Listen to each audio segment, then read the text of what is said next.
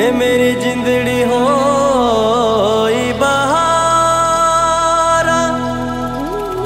ਜਗ ਤੋਂ ਵੱਖਰਾ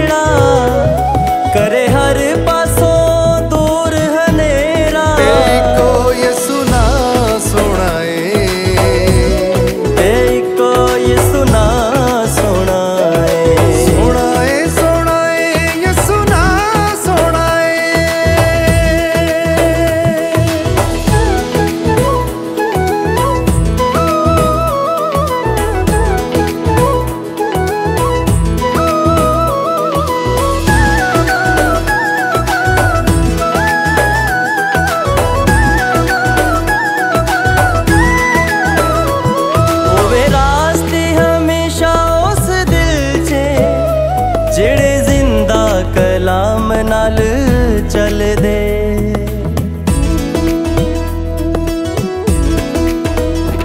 ਹੋਵੇ ਰਾਸਤੀ ਹਮੇਸ਼ਾ ਉਸ ਦਿਲ 'ਚ ਜਿਹੜੇ ਜ਼ਿੰਦਾ ਕਲਾਮ ਨਾਲ ਚੱਲਦੇ। ਬੱਲਾ ਘੁੱਟ ਕੇ ਯਿਸੂ ਦਾ ਲੈਂਦੇ ਫੜ ਜੋ ਕਦੀ ਆਪਣੇ ਇਰਾਦੇ ਤੋਂ ਨਾ ਹਿਲਦੇ। ਕਦੀ ਆਪਣੇ ਇਰਾਦੇ ਤੋਂ ਨਾ ਹਿਲਦੇ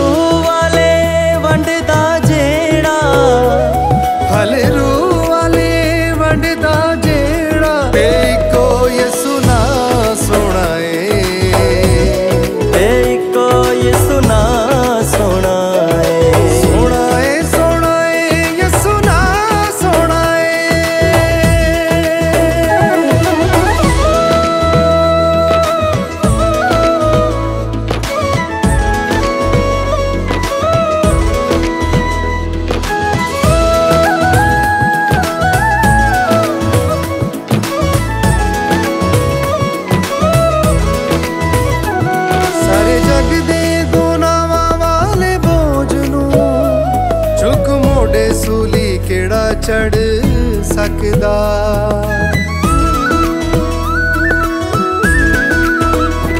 ਸਾਰੇ ਜਗ ਦੇ ਗੁਨਾਹਾਂ ਵਾਲੇ ਬੋਝ ਨੂੰ ਚੁੱਕ ਮੋਢੇ ਸੂਲੀ ਕਿਹੜਾ ਚੜ ਸਕਦਾ। ਫਤਾ ਮੌਤ ਦੇ ਡੰਗ ਉੱਤੇ ਪਾਵੇ ਕੋ, ਕਿਹੜਾ ਅਬਦੀ ਹਯਾਤੀ ਵੰਡ ਸਕਦਾ। ਸਕਦਾ। ਦੇਵੇ ਅਬਦੀ